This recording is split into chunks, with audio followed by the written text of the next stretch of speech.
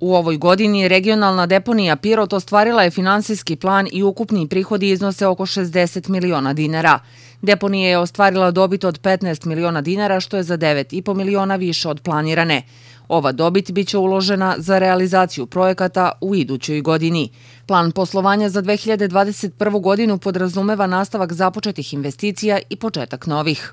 Znači, mi polako uvodimo i pripremamo da uvedemo primarnu selekciju, znači sakupljenje razdvojeno sakupljenje komunalnog otpada na pragu domaćinstva, znači idu dve kante, nova linija prevoza, imamo, imaćemo liniju za sekundu separaciju, polako znači, uvodimo upravljanje ambalažnim otpadom i komunalnim ambalažnim otpadom, pripremamo sanaciju i rekultivaciju starog smetlišta, pripremamo znači, projektnu dokumentaciju i planiramo kako i na koji način da građevinski otpad i inertni otpad koji se javlja na teritoriji grada Pirota i hvala Bogu što se javlja, znači vrši se gradnja, da on bude adekvatno tretiran, odložen.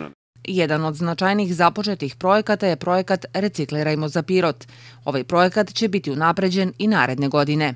Mi smo prošle godine u sinergiji sa gradskom upravom i javnim preduzećem Komunalac Pirot pokrenuli akciju Reciklirajmo za Pirot.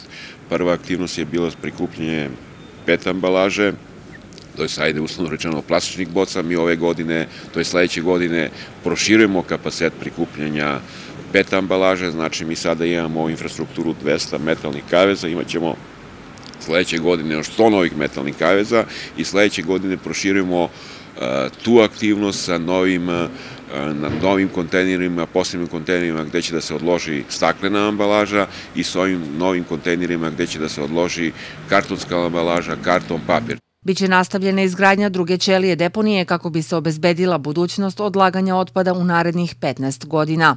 Pastet prve ćelije, imamo još par godina da koristimo prvu ćeliju, zbog toga smo ušli u izgradnju druge ćelije.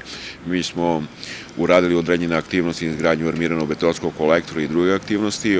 Sledeće godine planiramo da krene u e, zemljane radove, tako da u naredne dve godine završimo drugu ćeliju. Predračunska vrednost druge ćelije je negde oko 2 miliona eura. Radove za izgradnju druge ćelije deponije finansiraće Ministarstvo za zaštitu životne sredine i grad Pirot.